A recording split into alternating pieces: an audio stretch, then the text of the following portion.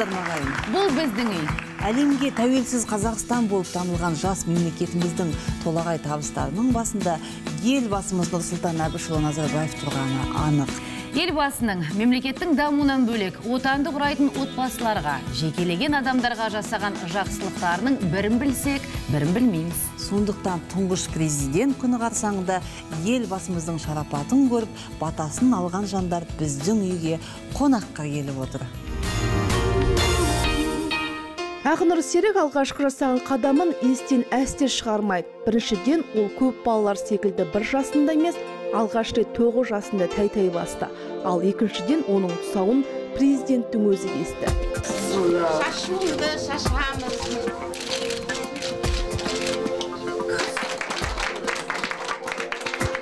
тоғыз жасына дейін қарыс қадам аттамаған сол ақнұр қазір бой жетті арада тоғыз жылдай уақыт өтсе де сол бір тағдырлы кездесу ұмытылмақ емес. Бәрі көз алдында жадында сақталып тұр. Ақнұрдың алғашқы қадамына берген елбасының ақ тілегі орындалды. Қазір оның қадамы нық қатарластарынан қалыспай білім алып жүр.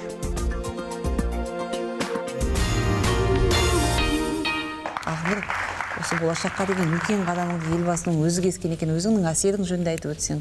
Сезімді айтып жеткізе алмаймын. Өте қуанышты болдым. Қуанышымда шек болмады.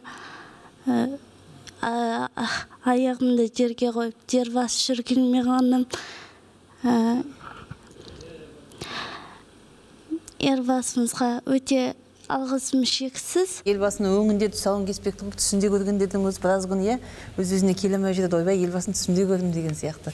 Әрине толқынысты түсінікті деп ойлаймын көп адамдар былай айтатын біз тіпті түсімізде де көрмеген адамды сен қолынан ұстадың қандай бақытты адамсың деген жаңыл апай енді өзіңізге сұрақ қойсам бола ма елбасымызбен кездесу үшін әдетте кейбіреулер хат жолдайды. Ә, кейбір азаматтарымыз ә, видео жолдау ә, жазатын болады. Ал сіздер ә, осы тіпті қызыңыздың тұсауын кескен ә, президентіміздің ол өзінің шешімі ме еді? Әлде сіздің өтініштеріңіз бе?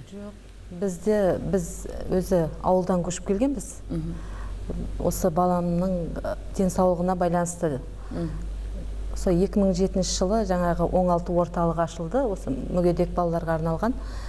Сонда жатып ем алдық.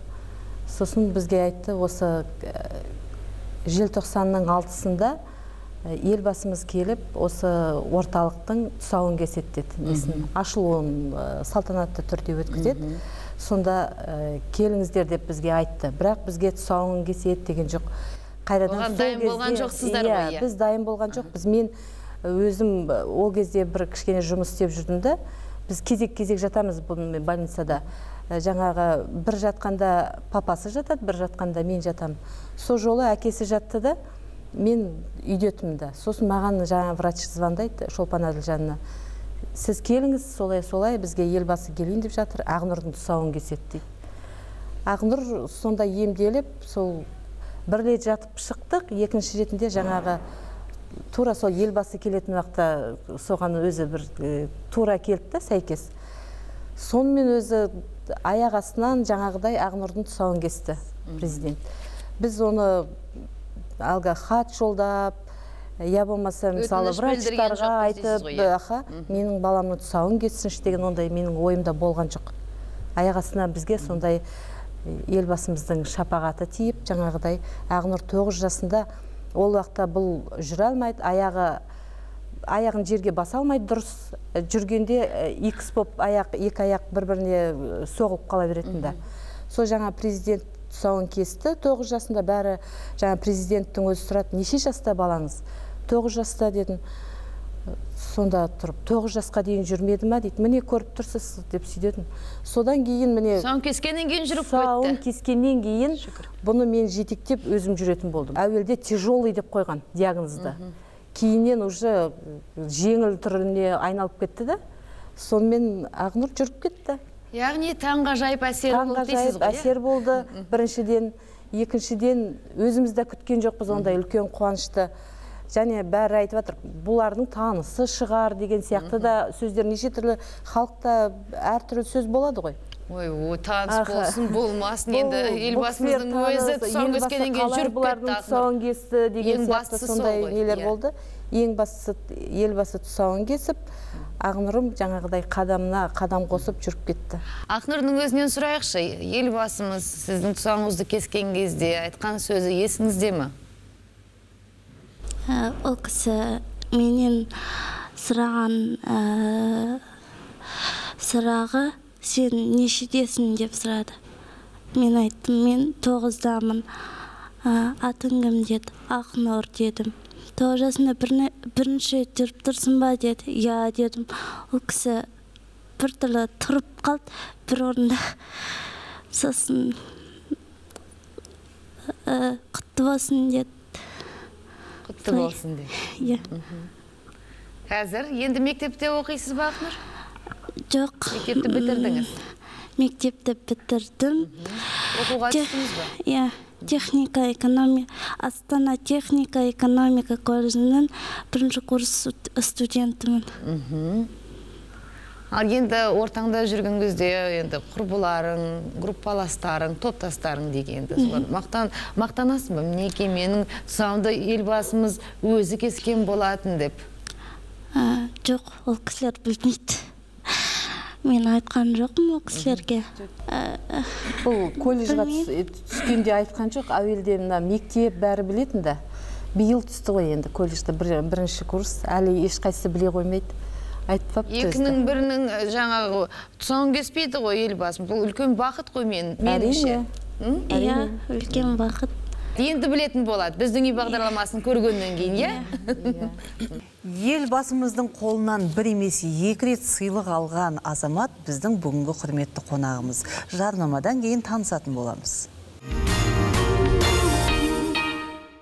Елбасымыздың шарапатын көріп батасын алған жандар біздің үйге қонаққа келіп отыр. Президенттің өзі сұрады неше жаста балаңыз?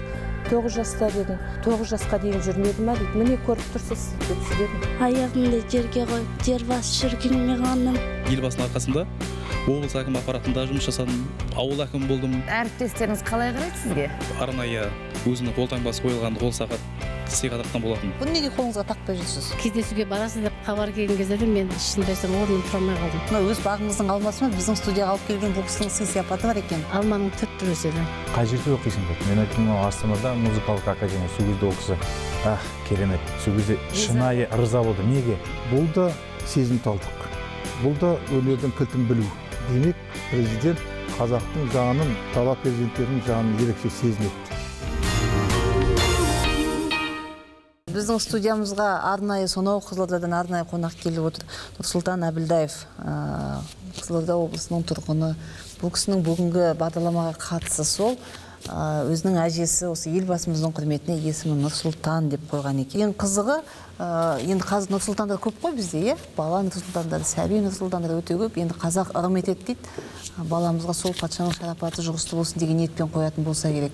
Ал енді сізге қойғанның ерекшелігі сол елбасы болмай тұрып сіздің есіміңізді нұрсұлтан деп сол кісіге ырымдап қойған екен. Өзіңіз айтып берсеңіз. 1986 жылы э, қызылорда облысы сырдария ауданында дүниеге келгем әжем э, балдырған мұсапаева социалистік еңбек ері атақты күрішші Э, ол әжем елбасымен 81 81 жылдан бері таниды екен бір бірін елбасымыз э, еңбек еткен адамдар аса құрметтеген сондай азамат кісі ғой.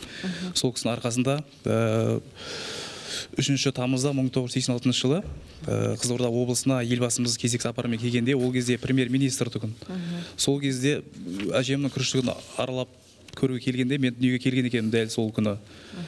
Ә, әжеммен жаңа елбасы ә, әжем кімге елбасына айтады ғой бүгін немерелі болдым сіз құтты қонақсыз деген ниетте сөйтіп сол екі кісі екеуі ақылдаса келе атымды нұрсұлтан қойған.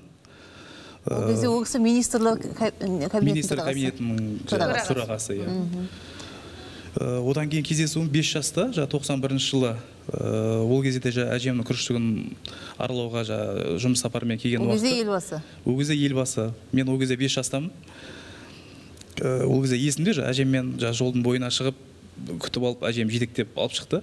Э, сол кезде еміс еміс есімде бір қар үйдің ішінде отырып бірге жаңа тамақ жеп ол кезде ұшақ макетін сыйға тартқан болатын 5 жасымыз ол кезде есімде. Сізге?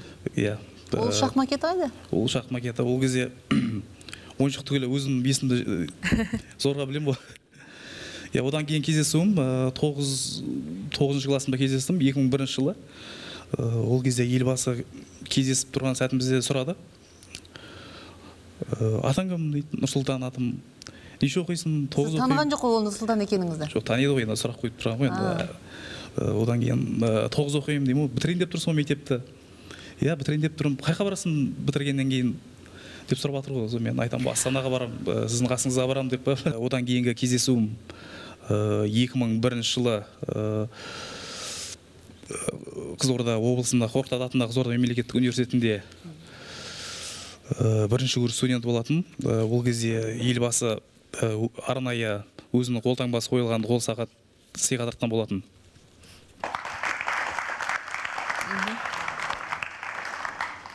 қазақстан республикасының президенті нұрсұлтан назарбаев деген қолтаңбасымен екен иә? Иә. бұны неге қолыңызға тақпай жүрсіз? Тағам ғой. Тағып жүрсіз? Ұшақ макетін сыйлапты. Мүмкін сізді ұшқыш болсын деп ойлаған шығар. Өзі де сол ұшқыш боламын деп армандаған біздің президентіміз иә? Мен егер қателеспесем. Мен 2012 жылы э, елбасына хат жаздым. Э, елбасы хат жазғаннан кейін э, бір аптадан кейін э, облыс әкімі қабылдап сол елбасының арқасында сол облыс әкімі аппаратына жұмысқа тұрдым. Э, 2012 жылы 2012 жылда осы күнге дейін елбасының арқасында облыс әкімі аппаратында жұмыс жасадым. Ауыл әкімі болдым. Қазір э, сырдария ауданы қызылорда облысы. Сол әкім аппаратында қызмет жасап жатырмын ол бәрі елбасының арқасында. Тікелей президенттің қолдауымен жұмысқа орналасыпсыз. Әріптестеріңіз қалай қарайды сізге? Енді әріптестерім арасында қалай? жаңағыдай э, достарым арасында абыройым бар шүкір. Аллаға шүкір. Нұрсұлтан деген атты көтеріп жүру.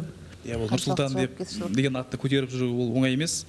Э, абыроймен э, нұрсұлтан деген ат- атқа еш э, кір келтірмей осы елдің дамуына тиетіндей болса да үлес қосқым келеді. Соған жұмыс жасап жатырмын. Бұйырса сол күніңізге енді жақсы күндерге жетесіз деген жақсы тілегіміз бар. Елбасының өзінің батасын алып иә өзінің елбасының сыйлығын алып елбасының ақ батасын алып уәдесін алып елбасының тікелей шапағатын көріп жүрген біздің нұрсұлтан бауырымыз. Біздің студиямызда мәжіліс депутаты белгілі қоғам қайраткері сауытбек абдрахманов ағамыз келіп отыр сауытбек аға қош келдіңіз.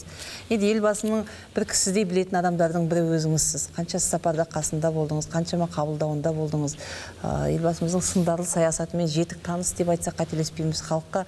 А, елбасымыздың еңбегін насихаттауда көп ерен еңбек сіңірдіңіз иә? Газет арқылы болсын өзіңіздің журналистік жазушылық ә, қасиеттеріңізбен де көп атсалыстыңыз дейміз. Жалпы өзіңіз осы елбасымыз жайлы ә, ол кісімен біз халық білмейтін қырлары жайында не айтасыз? Мен әңгімені осы бағдарламаның атынан бастағым келіп отыр. Біздің үй. Қазақ жас отауға да үй болып кетті үй болып кетсін дейді. Сол тұрғыдан қарағанда қазақтың үйге байланысты мақалдары көп. Соның біреуі ә, би болмасаң да би түсетін үй бол дейді. Біз осыдан 25 жыл бұрынғы халықтың тарихи таңдауының арқасында 1991 жылғы бірінші желтоқсандағы бүкіл халықтық сайлаудың арқасында дұрыс таңдау жолына түсіп үй болуға кірістік. Әуелі өз алдымызға дербес мемлекет құра алдық. Одан кейін бірте бірте халықаралық аренада беделге ие болып би түсетін үйге айналдық. Қазақстанда жаһандық жиындар өтетін болды халықаралық үлкен беделді конференциялар симпозиумдар өтетін болды қазақстанға әлемнің айтулы саясаткерлері келетін болды. Одан кейін біраз жылдан кейін өзіміз де би болдық. Еуропада қауіпсіздік пен ынтымақтастық ұйымына төрағалық ету деген еуропаға төбе билік жасап сондағы оқиғаларға сондағы саяси үдерістерге баға беру деген үлкен төбе билік. Ол бақыт ол бақ бізге ә, кешегі кеңестік республикалардың арасында бірінші рет түркітілдес мемлекеттердің арасында бірінші рет мұсылман мемлекеттердің арасында бірінші рет дейді. Ол және ең алдымен елбасының тікелей беделі арқасында дейді. Жақында ғана тағы бір биікке жеттік. Екі жылға 2017-2018 жылдарға қазақстан біріккен ұлттар ұйымының қауіпсіздік кеңесінің мүшелігіне сайланды. Елбасымыз нұрсұлтан әбішұлының қандай саяси тұлға мықты саяси тұлға екенін бәріміз танимыз. Енді бүгінгі біздің студиямызға келген қонақтарымызға қарасақ елбасымыздың жекелеген азаматтарымызға шарапаты тиіп жатқанын байқаған шығарсыз. Енді басқа да осындай оқиғаларға куә болдыңыз ба? Елбасы нұрсұлтан әбішұлының бір жеке тұлғалық ерекшеліктеріне тоқтала кетсеңіз. Мысалы нақты бір оқиғаны айтайын. 91 жылдың 10 желтоқсанында алғашқы инаугурация болды. Ұлықтау рәсімі. Мен сол ұлықтау рәсімінің сценарийін жазған адаммын. Ә, соның ұйымдастыру жұмыстарына тікелей жауапты болған адаммын. Ол оқиға тосын оқиға жұрттың бәріне белгілі. Инаугурацияның ә, аяқталу рәсіміне жақындап келе жатқан кезде сахнадағы тудың құлап бара жатқаны. Соны шын мәнінде залға қарап отырған президент ол ту ың шыңсыз құлап барған туды көретіндей мүмкіндігі болған жоқ. Жаңағы бауырым айтып отырғандай бір құдірет бір ерекше түйсік жалт бұрылып ұстап алды. Орнына қойылды. Біздің туымыз жығылмайтындығы белгілі болды. Бірақ бәрібір ұйымдастыру жұмысындағы бір кемшілік ретінде қаралады. Ғой неге қарамады неге былай қойды деген сияқты. Содан кейін мен сахнаның артына тез шықтым да қатты толқып тұрмын не болса да естір сөзімді естейін деп мен президент мына жақтан шықты. Вице премьер мырзатай жолдасбеков қарсы алды. Сонда бір ауыз сөз айтқан жоқ. Бұларың не? Мынаған кім қарайды деген сияқты әңгіме бір кейістік білдіру деген болған жоқ. Сондай кеңдік үлкен тарихи күнде оның үстінде ол жағдай өзінің орнына әдемі келді. Осының барлығы байсалдылығын танытты дейсіз иә ғой. осының барлығы адамның ірілігі.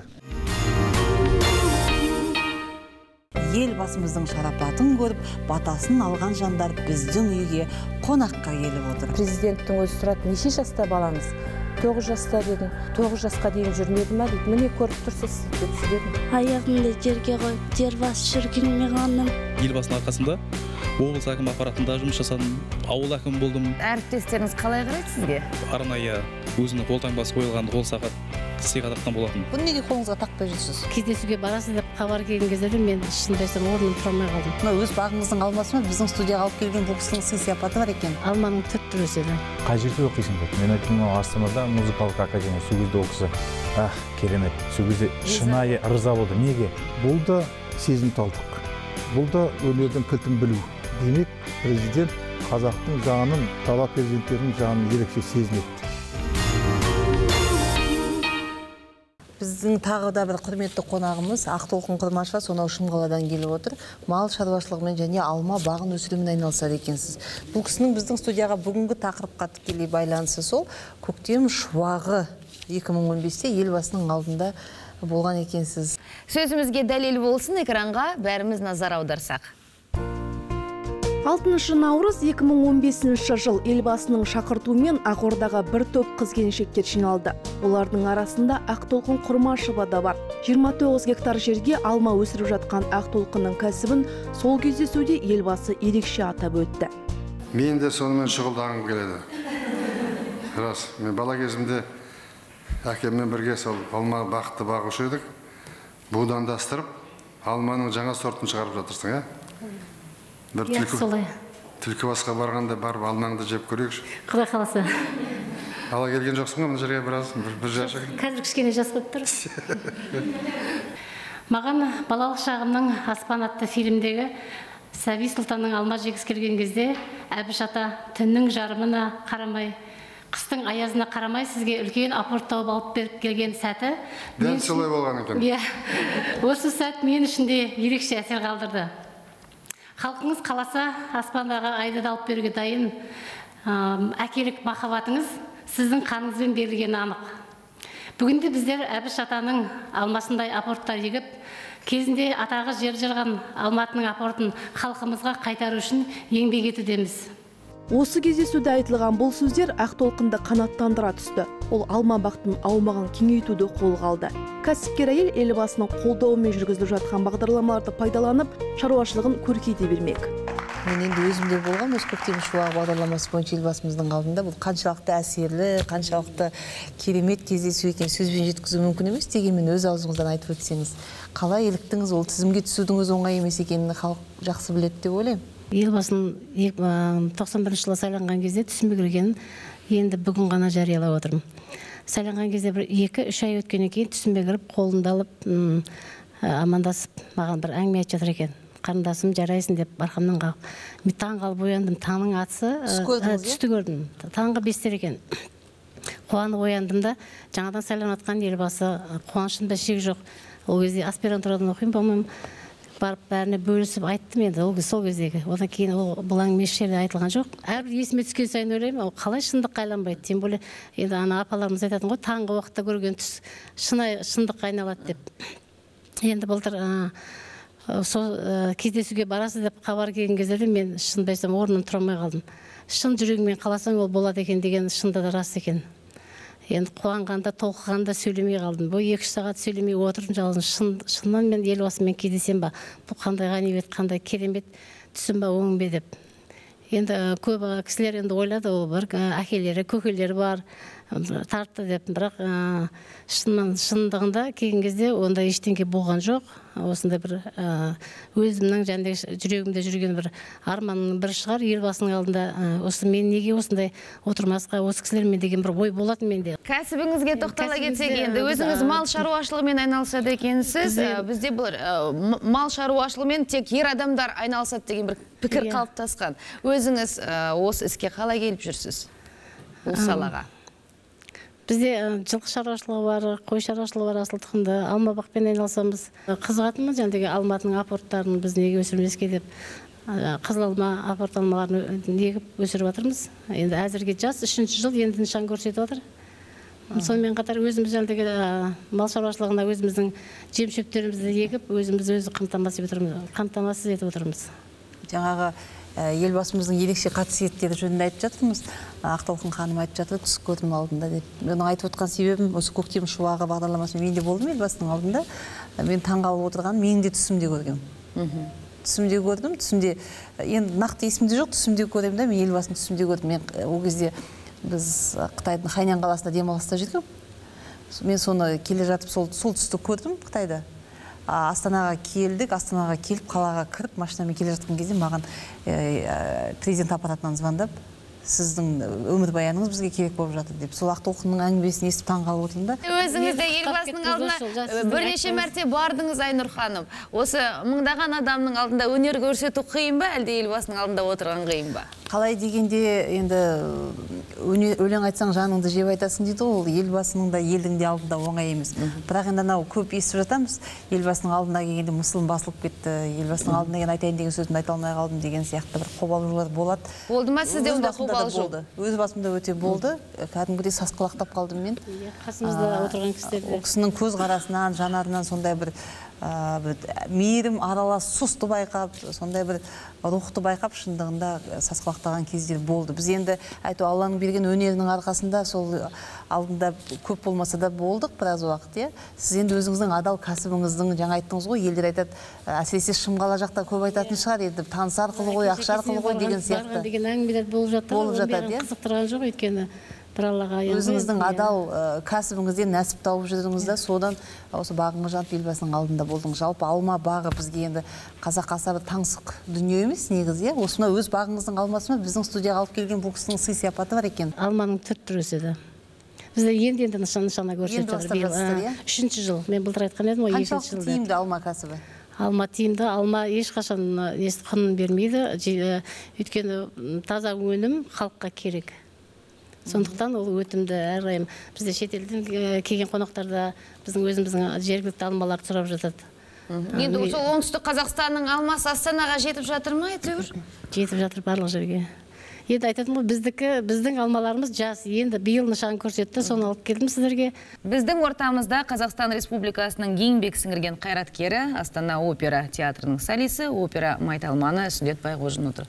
Қош келдіңіз. Енді өзіңізді сөзге тартсақ сіз де талай рет елбасымыздың алдында өнер көрсеттіңіз кездесуінде де болдыңыз. Сол алғашқы кездесуіңізге тоқталсақ. Біріншіден тәуелсіздік тұғырында келген мынау президентіміздің күні мен шын жүректен құттықтағым келіп отыр. Елбасының алдында осылай өз өнерімді көрсетсем ә, ол тек қана елбасының алдында емес бірақ шетелге шығып ә, қазақ опера өнерін шетелге ә, көрсетіп ары қарай басқа деңгейге кететінді ол да Халықаралық деңгейге, иә. иә ондай ойымда да болған жоқ. Бірақ енді былай адамның пешенесіне не жазылған дейді сол болады дейді. Бірақ енді оның бәрі еңбекпен келеді жайдан жай келіп жатқан жоқ. Күнделікті жұмыс сол себептен ә, қазіргі таңда сол қазақ өнерін шетелде ә, Танытып көрсетіп, жүрсіз, иә. танытып жүргеніме өте мойындатып жүрсіз. өте ырзамын. Және ол ә, мысалы ба- барлығы осы болып жатқан нәрсе елбасымыздың салиқалы саясатының арқасында және адами қасиетінің арқасында айтады. Ә, қандай патша сондай ел дейді. Ондай да ұғым бар сөз бар. Сосын мынау ә, осында өнер саласына енді елбасымыз өзі өлең айтуды жақсы көреді. Көптеген Өнерге ә, жақын адам, иә. көптеген әндердің сөздерін біледі. Мынау ә, халықара анау ә, халыққа еңбек сіңірген әртістердің өздерінің сөздерін білмей жататын жерлерінде елбасының өзі айтып көмектесіп жүретін Есте сақтау қабілеті Иә, керемет керемет. Сосын мынау өнер ордасын салып мынау астана енді елбасының өзінің баласы сияқты ғой. Иә. орысша айтқанда детище ә, президенті. Сол бүкіл ықыласымен өнер ордасын салып мына жерде астана операсын салып мұнда мысалы өзім осы қазақ ұлттық музыка академиясында осы астанаға 2001 жылы келіп бастап оқып сосын елбасының алдында ең бірінші рет шығып өлең айтқанымда менен сұрады. Балам қайдансың деді. Мен осы торғай жерінен келіп отырмын.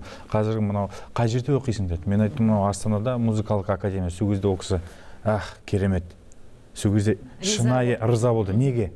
Өйткені ә, басынан бастап құрады бұл қаланы. Ал басынан бастап құрған кезінде енді мысалы өзіңіз бір іс жасасаңыз оны ары қарай жеткізсеңіз оның нәтижесін көрсеңіз сіз қуанасыз ғой. Әрине. сол сияқты ол кісінің көзінен мен сондай ә, сондай жарқын сезімді. Еңбегінің жемісі ретінде көріп Иә, тұр ғой иә, сізді міне, иә. бізден өнерді қолдағаннан кейін иә біздің астанадан шығып жатыр деп. Сондай қуаныш сезім. Және мынау астана опера театрын салып берді. Оның ол не? Ол қазір астана опера театры ә, бәйтерек сияқты соның қатарында мынау өнердің символы символына айналды. ол тек қана қазір әп әдемі здание болып тұрған жоқ оның ішінде жұмыс жүріп жатыр Керемет. керемет әріптестеріміз өнерін көрсетіп сіз қалай өнер арқылы спорт арқылы біздің қазақ елімізді тани бастады. Қазір астана опера театры шетелдік аренадағы опера театрлармен бірге ә, өнер жағынан терезесі тұспа тұс тең келе жатыр енді э, біз енді елбасымыздың өзінің тікелей мұрындық болуымен осы өзіміздің атамекенге майра мұхамедқызы апайымызды алғызғанын білеміз иә? Мынау салынып жатқан жаңағы айтып өтіргенсіз опера театры деп жатырмыз. Осы театрдың біз жалпы қазақ даласына опера балет деген кейіннен келген өнер ғой. Осы өнердің сіз ә, белді өкілісіз иә әлемдік сахналарда ән салып жүрсіз. Біз тәуелсіз елміз иә тәй тәй 25 жасқа енді келдік. Міне бозбала шағында тұр қазақстан қазір. А, осы опера бұл әлемдік өнерге санаймыз иә. Бұл классикалық өнер түріне жатқызамыз. Жалпы қазақстандағы осы опера балеттің дамуы біз әлемдік деңгейге жеттік па? Жоқ әлі біз өсу үстіндеміз ба? Біздің театрда балетті алсақ та да операны алсақ та да керемет іріктеуден өткен шетелдік ә, жюрилер отырып және өзіміздің ә, тұрғылықты ә, еңбек сіңірген қайраткерлер өзі ә, не болып отырып жюри болып отырып қазылар алқасы болып көріп бағасын беріп жаңағы әншілерге осы астана опера театрына жол берді және олар қазір халықаралық стандартқа сай. Біз әлі даму үстіндеміз. Мынау үлкен өнер балет өнері опера өнері бізге керек. Неге? Өйткені сол арқылы біз өзіміздің қазақи операларымызды да шетелге көрсетеміз. Жақында мен большая опера деген мәскеуде абай операсынан үзінді Иә, мен көрдім. абайдың ариясын орындадым. Олар айтып жатыр қандай керемет музыка! Біз сіз сөзін айтпай ақ уже ә, сіз сөзін Жүрегіне айтпай ақ тиді, иә. иә жүрегіне тиіп не болған сезініп айтып жатыр А, сауытбек аға жаңағы бүгінгі енді елбасы күніне арналған бағдарлама болғандықтан енді сол тақырып бойынша айтатын болсақ өнер жайында иә елбасымыздың жаңағы ә, кәсіпкерлерге жасаған мына ақнұрдың тұсауын кескен нұрсұлтанға батасын берген деген сияқты жеке өзінің жеке бір қасиеттерін айтып жатырмыз. Жалпы өнер жағында енді ол кісінің өнерге деген қошеметінің шексіз екендігі ол айтпаса да түсінікті иә қалың көпшілікке жақсы мәлім. Жалпы өзіңіз айтып өтсеңіз елбасымыздың сүйікті әндері қандай? Қандай кездерде жалпы ән шырқағанды жақсы көреді ол кісі?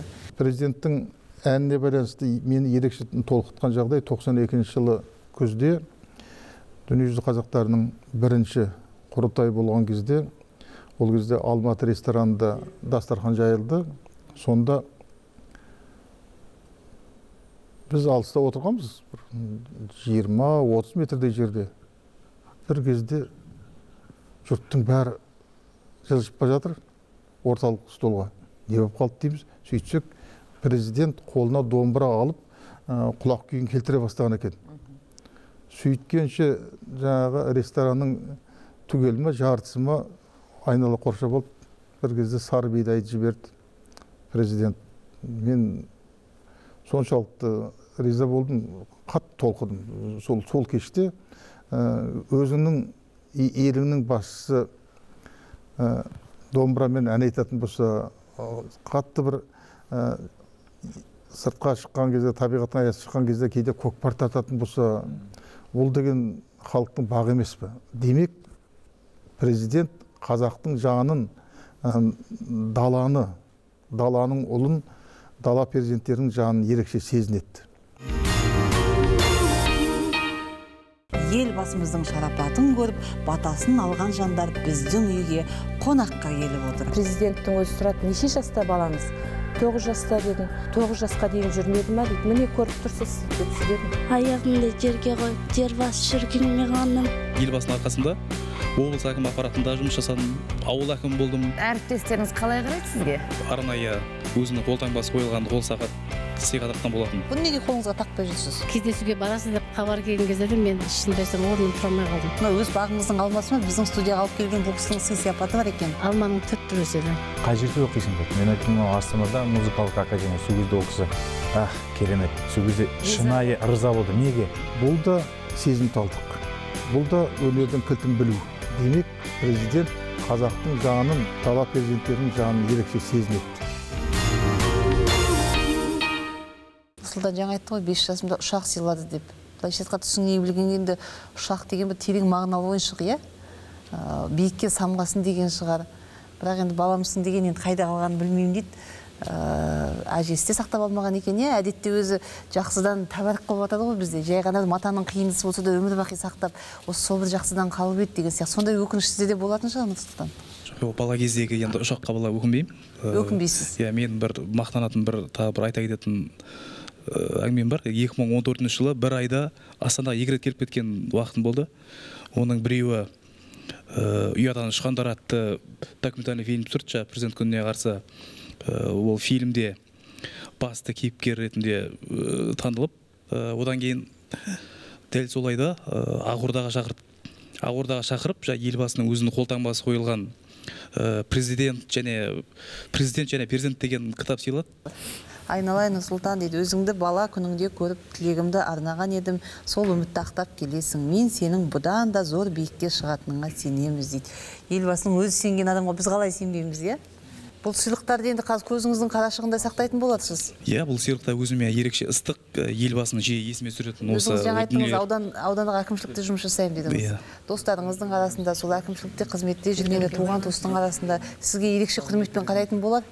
Иә нұрсұлтанның өзі болмаса да көзіндей деп көретін шығар сізді. А өзіңізге Дәл солай. сауытбек мырза жаңа айтып өттік қой сүндеттің өзі де атап өтті өнерге қаншалықты елбасымыздың қолдауы тиіп жатқанын. Сізде мүмкін біз білмейтін бір жеке адамдарға сыйлық сыйлаған сәттерінен мысалы өнер адамдарына барып иә а- алғысын айтқан батасын берген кездері. Жалпы халыққа сыйлығы жөнінде айтқым келіп отыр. Өнердің нәзік білгірі болатынына тағы бір мысал ретінде гимнге байланысты хикаяны айтуға болады. Өздеріңіз жақсы білесіздер ертеректе ә, мұқан төлебаевтың ғажайып музыкасына жаңа текст жазылып гимн қабылданды. Бірақ белгілі бір себептермен ол гимнді халық айта алмады. Оның басты себебі мен ә, филолог ретінде нақты айта аламын. Ол гимн өзінің музыкалық сүндетте жақсы біледі музыкалық размері бойынша 12 буынға құрылған. Ал қазақта 12 буындық өлең болмайды. Сондықтан да оны жаттау өте қиын болды қазаққа. Ә, гимн мәнерінде айту да қиын болды. Бірақ ә, классикалық ә, өлшемдер бойынша мұқан төлебаевтың гимні әңгімесі жоқ. Бірақ президент халықтың гимнді қосылып айта алмай жүргенін көрді. Сөйтті де халықтың жүрегіне өте жақын әр адам айта алатын әр адам айтқысы келетін менің қазақстанымды таңдап жұмекеннің мәтініне өзі екі шумақ қосып жекелеген сөздерді өзгертіп гимннің талабына келтіріп тәуелсіздік тұрғысынан өңдеп жаңа гимн жасап шығарды. Бұл да сезімталдық бұл да өнердің кілтін білу. Міне одан кейін халық гимнді айтып кетті. Сауытбек мырза тағы да енді бірінші желтоқсан президент күніне арналған бағдарлама болған соң осы президент күнін а, атап өту маңызына тоқталсақ. Біраз адамдарды ана жылы 12 жылы осы мереке белгіленген кезде бұл қалай нәрсе осындай нәрсе бола ма? деген әңгімелер айтып жүрді болады ғой мысалы әлі- ақш-тың өзінде де аталып өтеді. Иә. Ә, ақш-та ә, 22 ақпан джордж вашингтонның туған күні. Иә. Оларда ә, ақпан айындағы үшінші жексенбіде аталады. Мысалы 22 ақпан бейсенбіге келсе бейсенбі күні атамайды. Атамайды. Ә, оның жексенбісіне атайды. Президент күні ретінде. Ал ең демократиялық дәстүрлер дамыған дейтін американың өзінде тұңғыш президентінің туған күніне 1880 жылдан бері иә. Иә, содан со- бері аталып содан, содан бері жылда аталып өтеді. Джордж вашингтон туған күні. Ал бізге неге атамасқа? Соны иә. Бұл, бұл шын мәнінде біздің жаңа дәстүрлеріміздің туған күні. Біздің өз алдымызға президентті өз еркімізбен сайлаған күніміз. Біздің президенттік билік институтына ауысқан күніміз. Бұл тарихи күн. Ғасырлар өтеді әлі замандар өзгереді. Бірақ бәрібір қазақ мемлекеті өркениеттік өлшемдерге қашан ауысты деген кезде 91 жыл 1 желтоқсан. Сол күні халық өзінің тұңғыш президент сайлады деп айтамыз. Бұл күннің маңызын біз ерекше бағалауымыз керек. Сондықтан да дәл қазір біз тәуелсіздіктің 25 жылдығымен қоса тұңғыш президент сайлауының 25 жылдығын да еске алып атап өтеміз. Рахмет аға. Уақытымыз да біраз жерге келіп қалды. Студияға келгендеріңізге үлкен рахмет. Бағдарламаның соңында осы мерекеге байланысты елге және елбасыға деген өздеріңіздің ақжарма тілектеріңізді айтсаңыздар алдымен ақнұрдан бастайық иә? Тәуелсіздіктің 25 жылдығы келіп отыр. Үлкен үлкен биыл айтулы сондай сүбелі мерекелердің қарсаңында өзіңнің бір аппақ тілегіңді айтып өтсең. Таппақ айтып берсем бола ма? Болады әрине. Гармония деп аталады. Назира бердалы м, шығарған Ә, сіздерге айтып берейін. Күн батты ақшам уақты кеудемді күйгенесің деп күй тыңдап мен жылап тұрдым әрқашан күн сөнбесін деп. Күннен сен жақынсың раббым. Күнді де жарық еткен сен бәлкім сен ақынсың раббым. Жерді де ғарып еткен сен мәңгілік күнді айналдырып кете алмас ғашық еткен сен біздерге төзе алмас ек-ау осындай қасірет берсең жер беті ғаламат майдан. Сен ғана сақтаған жанның майданға аттанған дардың жер беті мұң менен қайғым қайғымды азайтшы раббым. Күннен соң таңында атыр күніңмен жылыта берде бір саған тәуелді пақыр пендеңді ұмыта көрме. Бұл әлем шектелмес жермен жердегі ғұмыр бір фәни шын әлем сен сыйған кеудем шын әлем сен сүйген нәби. Бәрекелді. Бәрекелді. Ақнұрдың мамасы бір тілегін айтып өтсе иә? Аналық тілегін тыңдасақ. Әріден бастайын. Ауылда тұрғанымызда таңертеңгі асын ішкеннен кейін үлкен атамыз болған. Сонда ол кісі батасын бергенде бірінші елбасымыз нұрсұлтанымыз аман болсын деп бата беретін. Ол уақытта мен енді кішкене ә, нелеу жастамыз біз. Күнде күнде бір сол сол несінен бастайтын. Сол сияқты міне бүгінде өзіміз көзіміз жетіп отыр.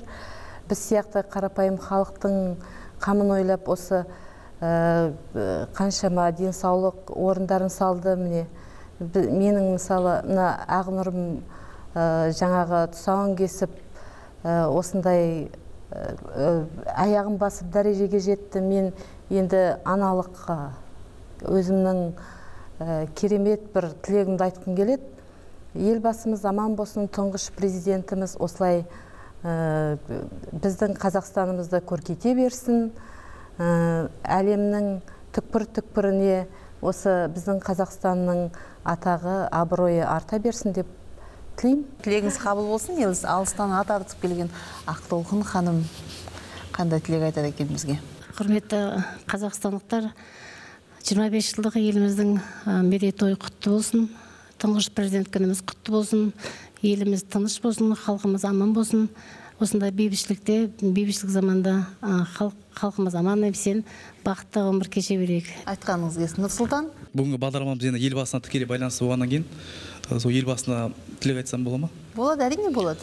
Э, құрметті нұрсұлтан әбішұлы сізді тәуелсіздіктің 25 жылдығымен шын жүректен құттықтаймын. Сізге зор денсаулық қажымас қайрат талмас қанат тілеймін. Э, тәуелсіздігіміз мәңгі өміріміз мәнді болсын. Рахмет. Тікелей елбасына шығып сізге де рахмет. жігіттер ғой. ал сауытбек Тіке мырза сізден бір ауыз сөз тілек мейрамға.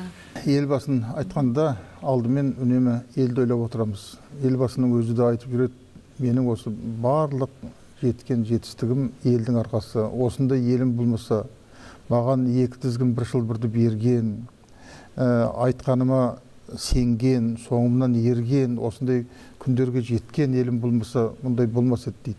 Біз елімізбен де мақтанамыз елбасымызбен мақтанамыз. Осындай адамды таныған осындай адамға бар сенімін берген осынша жылдардың ішінде толық сенім көрсеткен ел де елбасына лайықты. Елбасының бақытты елі еліміздің бақытты елбасымыз. Бір сөз бар ғой легче умереть за страну а еще лучше жить для нее дейді. Сол сияқты біз мына жас буын өнер саласында жүрген әншілер болсын бишілер болсын өнер саласында жүрген аға інілер болып қолдан келгенше елбасын қолдауға қай марапат қай концерт болсын қандай жиын болсын қазақ өнерін көрсетуге әрқашанда дайынбыз. Сол себептен елбасымыз жасасын. Рахмет. Атаның қаны ананың көз жасымен келген азаттығымыздың 25 жылдық тойы құтты болсын. Егемен елдің ертеңі жарық болсын деп тілейік. Тәуелсіздігіміз тұғырлы елбасымыз ғұмырлы болсын деген ізгі тілекпен бүгінгі бағдарламамызды тәмамдаймыз. Біздің үйде де сіздің үйде де. сыйластық болсын.